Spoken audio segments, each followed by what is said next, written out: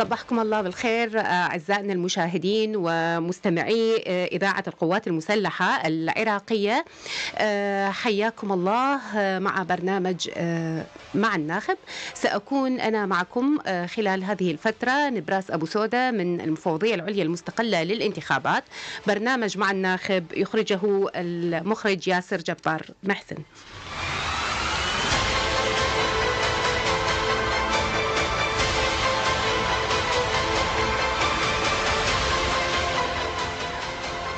معنا في إذاعة القوات المسلحة على التردد 98 اف ام وعلى الأرقام المجانية على جميع الشبكات مع الرقم 176 ننتظر اتصالاتكم.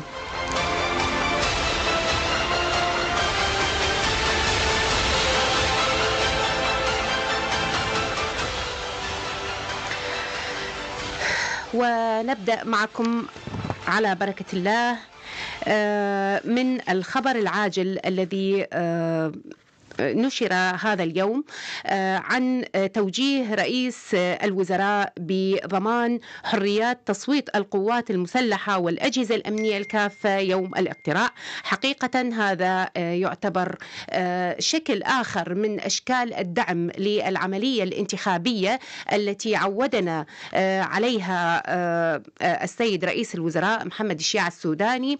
وهذا هو الدفع لأن تكون العملية عملية حرة ونزيهة وشفافة وفق المعايير الدولية. أيضا نوجه شكرنا إلى وزارة الداخلية والدفاع وأيضا كافة صنوف الأجهزة الأمنية للدعم الإعلامي الذي تقوم به لمساندة المفوضية من خلال توجيه منتسبيها طبعا إعلاميا وعن طريق القنوات الإعلامية التابعة لها والصفحات صفحات التواصل الاجتماعي لدفع وتشجيع منتسبيها للمشاركة في العملية الانتخابية المقبلة يوم التصويت الخاص.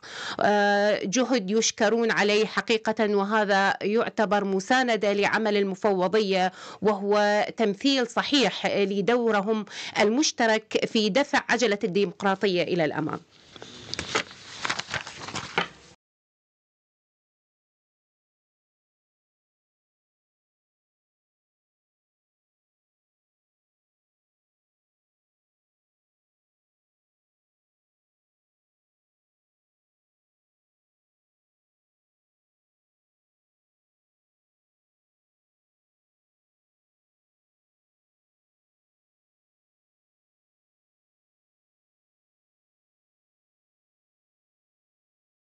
اليوم نريد شوية نتحيز للقوات الأمنية باعتبار أنه يوم التصويت الخاص هو الأقرب في العمليتين الانتخابيتين هي عملية انتخابية واحدة بالحقيقة ولكن يومي الاقتراع. كلنا أصبحنا نعرف إنه العملية عملية الاقتراع في العراق تنقسم على يومين يوم للتصويت الخاص ويوم للتصويت العام. فإحنا اليوم حابين نعطي معلومات للقوات المسلحة عن أعداد المحطات الاقتراع وأيضا مراكز الاقتراع اللي تابعة لها في كل محافظة. مبدئيا نعطي نبذة موجزة عن معلومات الانتخابات بصورة عامة. هذه الانتخابات اللي راح تكون في 15 محافظة هي غير منتظمة في إقليم. يعني كل محافظات العراق عدا إقليم كردستان عدد الناخبين راح يكون بها أكثر من 15 مليون. طبعا هم مجموع من يحق لهم التصويت. في هذه الانتخابات هم نحو 23 مليون.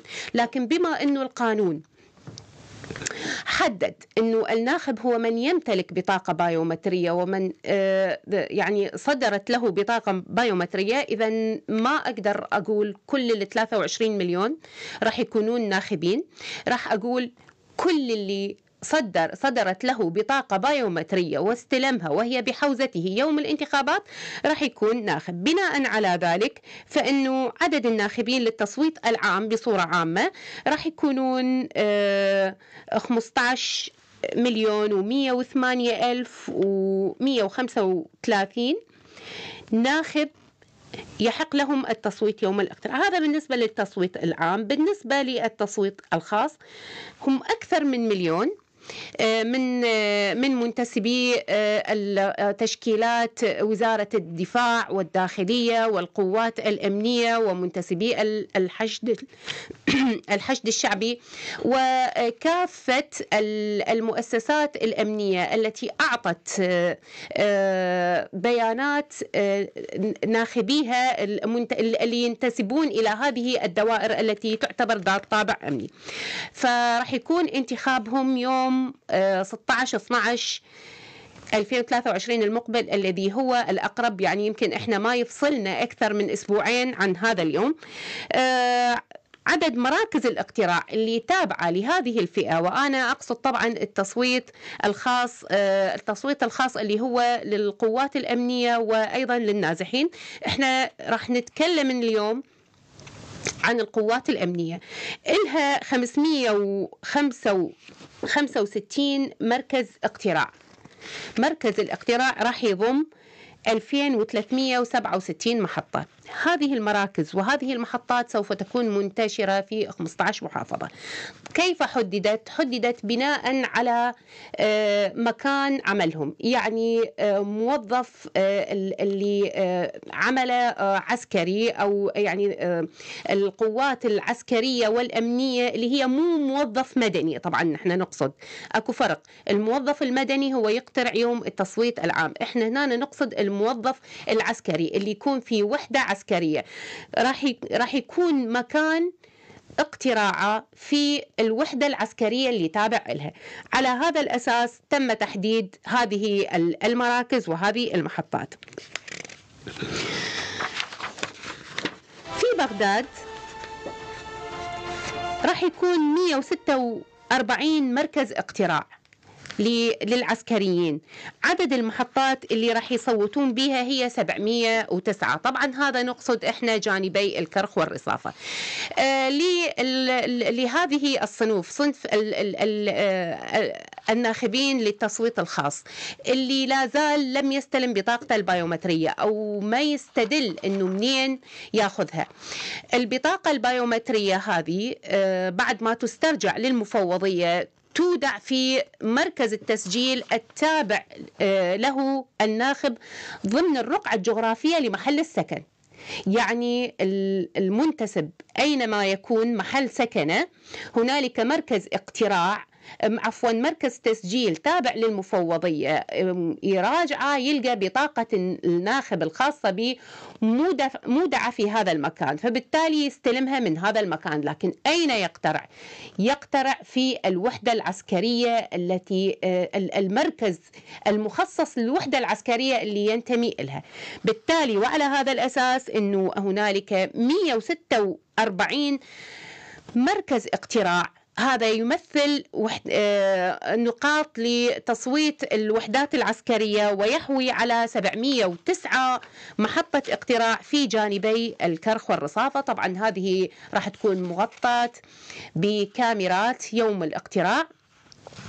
ضمانا لحرية التصويت الناخب سواء كان من التصويت العام أو الخاص هو له حرية آه، التصويت الكامل ومن آه، حقه أن يحافظ على سرية آه، هذا التصويت وهذا القرار. هذا حق بموجب الدستور. لذلك حتى من المفوضية وضعت الكاميرات راعت أنه تكون في زاوية هي مؤمنة محطة الاقتراع ولكن بما يضمن حرية الناخب. يعني ما ممكن الكاميرا تلتقط آه، اختيار الناخب ولمن آه، صوت. محافظة نينوى عدد محطات الاقتراع للتصويت العام 3993 عفوا مركز اقتراع آه، و 49 لا عفوا. عفوا أعتذر عن هذا الغلط. آه، هنالك 49 آه، مركز للتصويت الخاص وأكو 234 محطة للتصويت الخاص. أيضا البصرة مراكز الاقتراع التابعة لها 28 مركز اقتراع يخص آه، العسكريين وصنوف القوات المسلحة وأيضا هنالك 124 محطة اقتراع. في بابل 27 مركز اقتراع و78 محطة اقتراع. طبعا هذه المراكز تضم محطات بالمناسبة آه، لا يفوتنا أنه, أنه أيضا نلفت انتباه السادة المشاهدين والمستمعين آه، أنه المحطات مقسمة حسب الحروف الأبجدية. يعني المركز يحتوي على مجموعة محطات آه، اللي اسمه من الألف إلى مثلا الباء أو تاء حسب الحروف الأبجدية مجموعة معينة من الحروف راح يلقون أسمائهم في نفس المحطة. المحطة.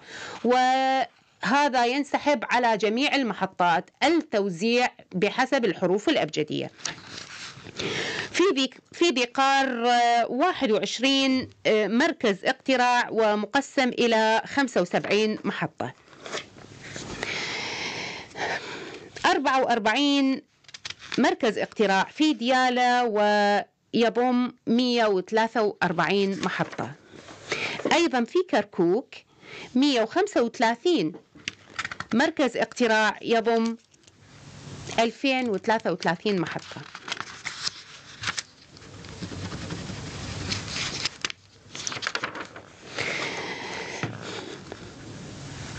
أربعة وخمسين مركز اقتراع في الأنبار يضم 243 محطة. 44 مركز اقتراع في صلاح الدين يضم 162 محطة. 18 مركز اقتراع في النجف يضم 64 محطة. واسط 12 مركز اقتراع يضم 50 محطة. 14 مركز اقتراع في القادسية يضم 42 محطة. كربلاء 14 مركز اقتراع يضم 68 محطة. 28 محطة في ميسان وتضم آه، عفوا مركز اقتراع في ميسان يضم 124 محطة. وأخيرا المثنى 10 مراكز اقتراع تضم 40 محطة. فاصل ونرجع نكمل كلامنا.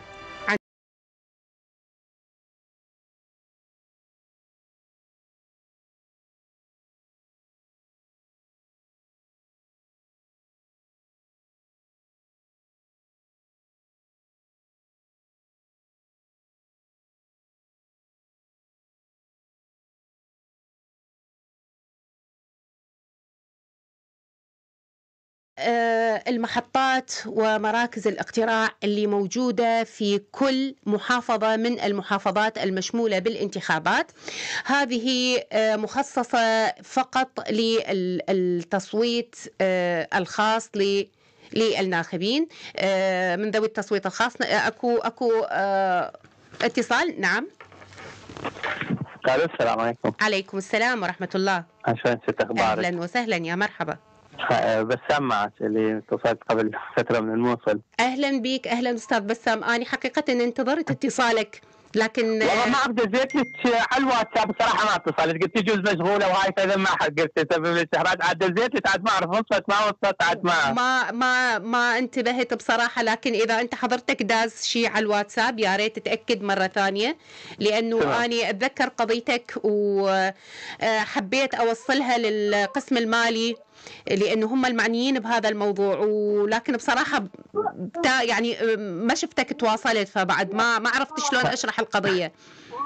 نعم لا لا موجود بكيتها حتى بنفس اليوم بعثت لك المعلومات كاملة على الواتساب ما ردت أتصل بك قلت يجوز تمام تمام لا لا لا مو مشكلة هو أفضل بالحقيقة إنه تبعث واتساب لأنه إحنا مرات شوية في زحمة الاتصالات إحنا العاملين بمجال الإعلام يعني عندنا زخم اتصال فابعث نعم. واتساب نعم. حتى أميز رقم نعم. تليفونك نعم. وأني إن شاء الله سويت قبل كم يوم أيضا كان عندنا لقاء همينا يعني يسولفون عليها كان عندنا اجتماع وهاي يعني اللي إحنا اللي ما أخذنا.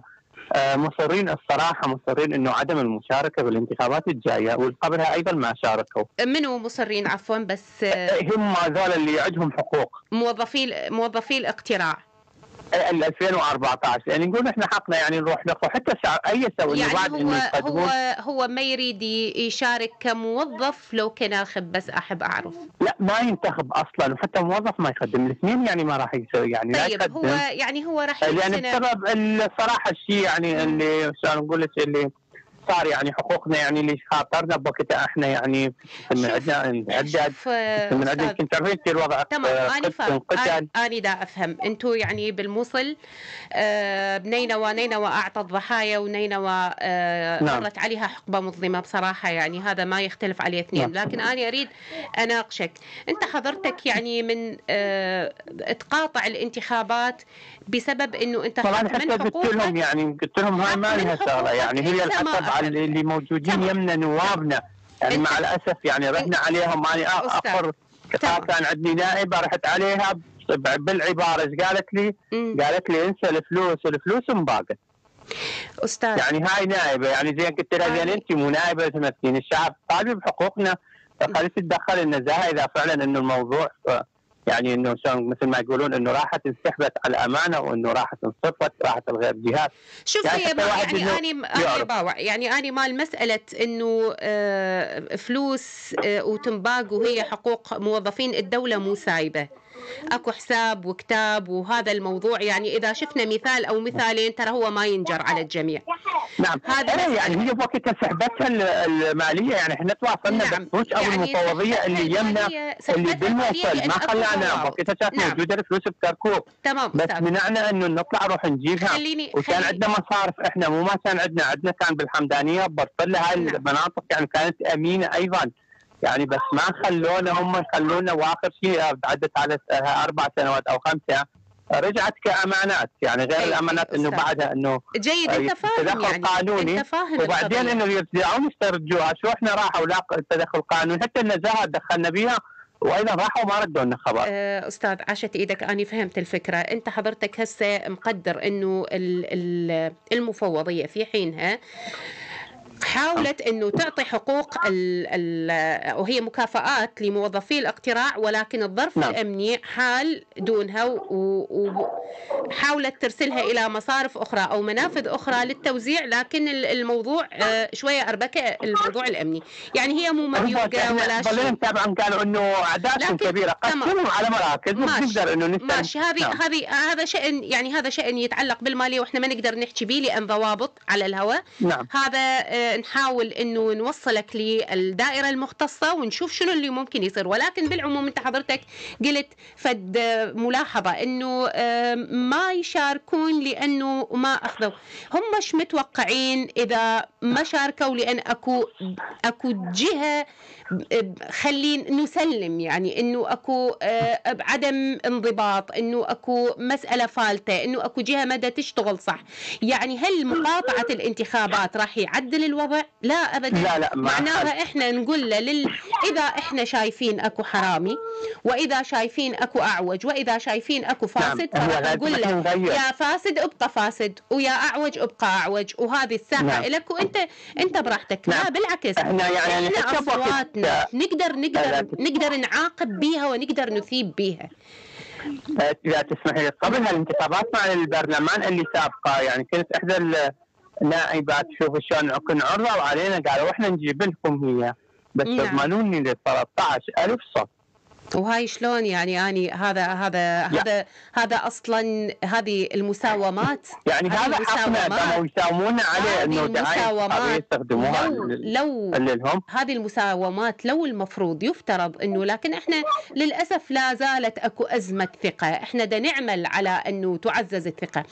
صدقني يا أخي لو أكو آه ناس آه تتصدى لهذا الموضوع و, و تشتكي لدى الجهة المختصة في المفوضية لأنه هذه المساومة هي نوع من أنواع الابتزاز. وهذا نعم، ممنوع. هذا وأنا هذا أيضا أتمنى أنه خاصة بالموصل يعني تعال شوف إيش حيصير شغلات كلها مخالفة للقانون بس حكم القوي نقول على الضعيف. يعني قاموا يفترون على البيوت تعال والله ان إحنا نطلع لك الرعاية. قاموا يستخدمون حتى راتب إي نعم الرعايه للأسف تكون الرعايه للأسف. وتوقفت يعني يوعدون العالم. ومن. عداها هاي بيع البطايق حياخذون الأصلية حياخذون مستمسكات يعني لاكو لا قانون لا محاسبة لهم يعني عيني عينك يعني موجودة هاي وقامت ماكو شيء اسمه طب انت ما محاسبة. كم يوم قامت تزيد إحنا أكثر. هسه نتمنى شوف حضرتك أنت هسه قلت فد مسألة جدا خطرة.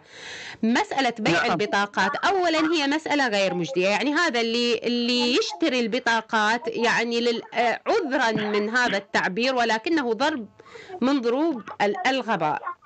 لأنه هو إيش راح يسوي بها ال- البطاقة وقلناها مرارا وتكرارا البطاقة لا تستخدم إلا من قبل صاحبها. ليش؟ فعلا يعني موجودة البصمه البصمة ما الثلاثية. حد يقدر لو ما أدري شخص كنت موظف اقتراع جيد حتى مسألة التخطي هذه لا تتعدى الخمسين الخمسة بالمية. يعني المحطة ولازم يكون مسجل لدى المفوضية أنه هذا معاق.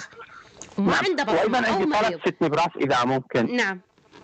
أتمنى انه يفتحوا لنا مركز تسجيل بالمنطقة مالنا يعني منطقة يعني أكبر منطقة بالموصل. مركز تسجيل ما بيها لازم أروح على حي الوحدة.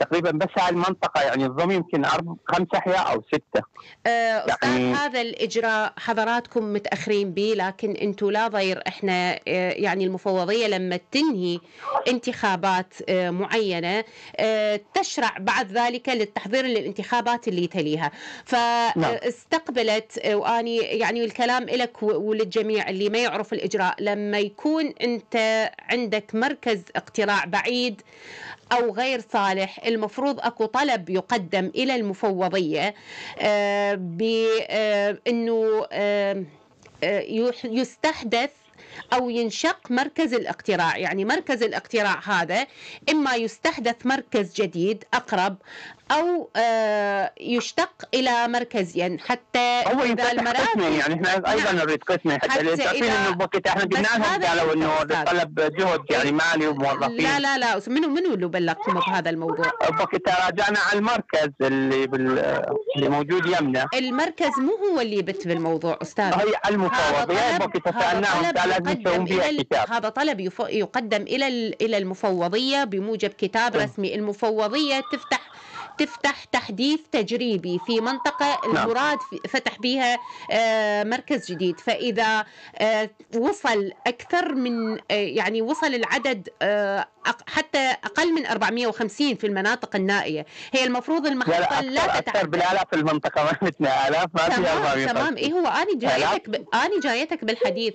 فلما نعم. اني عندي أكثر من 100 ولحد 450 أفتح له مركز واحد. إذا أكثر نعم. من 450 راح أفتح له مركزين إذا منطقة نائية كلش وعسى ما بيها 50 ناخب أفتح لهم مركز لأنه هذه نائية. لكن هذا بناء على طلب من المنطقة يقدم إلى المفوضية. ونفتح إحنا فترة التحديث. يعني إحنا هذا الكلام هو صار يعني آه، خلاص انتهى اوانه ولكن للتوضيح. لأنه إحنا هذه مسألة قبل الانتخابات تقريبا باربعة أشهر. يعني فترة تحديث سجل الناخبين. فلما يثبت فعلا إنه هذه المنطقة نعم. محتاجة إلى مراكز تسجيل المفوضية تفتح مراكز تسجيل وتستحدث أو أو تشطر بعض المراكز الموجودة. هذه مسألة. مسألة ال- الحقوق مالتك حضرتك إحنا ننتظر. إنه تتواصل وياي شخصيا حتى نشوف إن شاء الله بعد. البرنامج إذا تمام ما- اني أنتظر. اني أنتظر منك و... وتدلل تدلل أستاذ يا هلا على أهلا أهلا وسهلا شكراً. يا مرحبا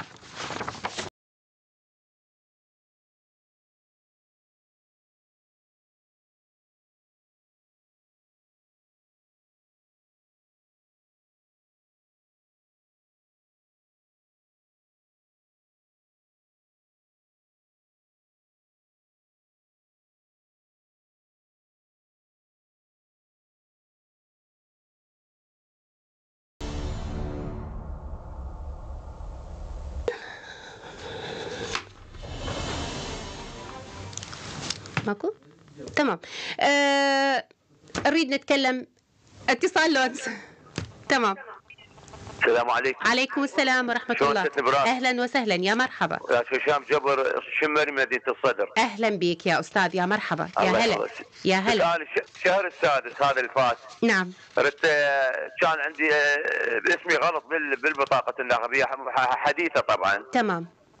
وجيت شهر 11 تقريبا استلمها هم نفس الغلط مهم. شنو اللي أسوي؟ اللي تسويه أنت ما تستلم هذه البطاقة وتعترض في المركز أكو استمارة خاصة حتى تثبت إنه حضرتك آه، اسمك تكرر الغلط بمرتين وطبعا إحنا نشوف هذا الموضوع لأنه ليش ما نفس الغلط أستاذ لو غلط جديد لا هو إيش كاتبيني بال... بال... من كان غلط جاسم هسه من رجعت لهم هم هم أخذوا مني بصماتي وأخذوا مني نعم. معلومات نعم. وكذا ورجعت لهم شهر 11 قالوا يا نفس الغلط رجع وقالوا لي أروح للبيت. بس اسمح لي. بس اسمح لي كل الاسم غلط اسم آخر يعني؟ اسم الأب اس... لا لا اسم بس الجد؟ الاسم الاسم الأول. يعني جاسم رجع جاسم. زين وأنت حضرتك شنو اسمك؟ عفوا. هشام جبر حموداني أنت هشام جبر حمود وأنت نعم. مسمى باسم جاسم. اي اي وبقى هذا الغلط قائم؟ بقوا رجعوا لي نفس الهوية ما اعطوني شيء جديد كذا. دقوها بالحاسبة رجعت نفسها آه، أنت لا آه، هذا الموضوع لازم نشوفه لأنه ما يصير أنت بيوم الاقتراع تنتخب ببطاقه الناخب وبهوية أخرى. فإذا كان الاسمين مختلفين يعني أكو هنا خلل.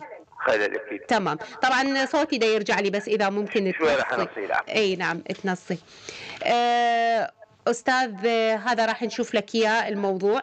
آه، أكو بالقانون بالإجراءات إذا الاسم الأول آه، بخطا ممكن آه، يعني يعامل آه، يعني يتعامل ويا الموضوع لكن إذا الاسم الثاني أيضا خطأ اسم ال- ال- الشخص بس واسم تمام. والمركز يصير قطع 35 رحت اراجع بيهم نفسهم تمام. تمام أي. نشوف لك المسألة لكن بالعموم أنت حضرتك راح تصدر لك بطاقة جديدة ما دام أكو نفس الخطأ قائم فهذه أيوة. البطاقة لا تعتبر صالحة ويسووا لك بطاقة ثانية إن شاء الله وتستلمها آه، آه، تبدي المفوضية تطبع الوجبة الجديدة. إيش وقت اراجع إن شاء الله المركز نفسه اللي بالقطع 35 على مود أقول لهم على التصحيح. أنت حضرتك استلمت البطاقة أنت تقدر ما تستلمها. هم رجعوها نفسها يعني هو ال- كانت عندي بيها خطأ بطاقه الناخب رجعوها نفسها قالوا عندك خطأ يعني نفس الخطأ خطأ. رجع أنت صلحته هذا خطأ هذا خطأ يتحمل الموظف أنت ما تتحمله. نعم. هذا الخطأ يتحمل الموظف. إذا أنت مصلح اللي- اللي- واللي المرة الثانية إجاك إيه، نفس أخذوا الخطأ مني عشر بصمات وأخذوا الجنسية وأخذوا اسمي وهاي معلومات حضرتك ما مسؤول عن هذا ال- ال- الخطأ. نعم، نعم. هذا خطأ آه، موظف. هو طبعا الخطأ وارد والسهو وارد. ولكن من حقك أن تصدر لك بطاقة أخرى وهذه البطاقة هي إذا ما تطابق اسمك ما تقدر تستخدمها. فشو اريد توجهيني؟ شنو اللي أسوي حتى؟ آه، حضرتك تسلمها للمركز وتست بموجب آه، استمارة. أكو استمارة معينة يعطوك إياها ويقولوا لك إنه أكو خلل خلل بال تمام؟ هو قال لي يا شفهي الخلل ما يعني دق حاسب وقال لا الخلل لازم تشتكي لازم لازم تاخذ استمارة وترجع البطاقة البطاقة هذه آه، بها خلل لازم ترجعها. إن شاء الله. أهلا وسهلا. الله يحفظك. الحملة الإعلامية الحملة الإعلامية وحصاد الحملة الإعلامية. تعرفون حضراتكم آه، أي حملة إعلامية لازم يكون بها خروقات. آه، المتصل ال- ال- أحد المتصلين قال آه، دا دا تصير أمور وخروقات واستخدام مال عام واستخدام مال دولة وأكو وعود يا آه، مستمعينا الكرام نتمنى من حضراتكم اللي آه، يرصد أي مخالفة يقدم شكوى. يعني نتمنى أنه تبنى الثقة بين المفوضية والمواطن للدرجة اللي يحس أنه هو في أمان لما يقدم شكوى. صدقوني أكو أقسام مختصة بالمفوضية تعمل آه، مع هذا النوع من الشكوى وبالفعل آه، تم تغريم آه، أحد ال- المرشحين 3 ملايين كون آه، اخترق ال- الحملة الإعلامية وأيضا آه، غرمت مرشحة أخرى آه، لكونها استغلت سيارات الدولة ولا زالت ال- الشكاوى ترد إلى المفوضية ولا زالت المفوضية تتخذ إجراءات وحضراتكم تقدرون تدخلون على ال website الخاص بالمفوضية تقرؤون قرارات مجلس المفوضين راح تلقون الأشخاص وأسمائهم المغرمين. المحترمين ونوع ال ال ال ال المخالفة اللي يقترفوها فماكو مخالفة مر مرور الكرام. أما هذه بالنسبة للشكاوى أما اللي ترصدها المفوضية عبر قنواتها المنتشرة في عموم العراق فهنالك أكثر من 570 مخالفة تم رصدها وتم التعامل معها. طبعا أزيل أكثر من 350 آه، مخالفة من هذه المخالفات اللي إحنا دا نتكلم عنها عن طريق تبليغ المرشحين وإزالتها من من المواقع اللي هي هذه آه، تقريبا تكون آه، المخالفات تخص أماكن ممنوع بموجب قرارات أمانة بغداد والدوائر التابعة لها بالمحافظات ممنوع أن تضع وتمارس الدعاية الانتخابية في هذا المكانات فبالتالي المفوضية دا تتعامل مع الموضوع ومن لم يزلها تزال على نفقة نفقته الخاصة وأيضا يغرم من قبل المفوضية. فموضوع المخالفات هذا آه، تعمل عليه المفوضية وما ممكن أن تترك آه، الأمور كيفما اتفق. هذا ما كفانا اليوم. وقت الحلقة انتهى. آه، نتمنى الموضوع نتمنى الوقت يكون أطول ولكن مشكورة يعني الجهة التي تساعدنا على إتاحة هذا الوقت والفرصة للقاء بكم. نلتقيكم الأسبوع القادم إن شاء الله. السلام عليكم.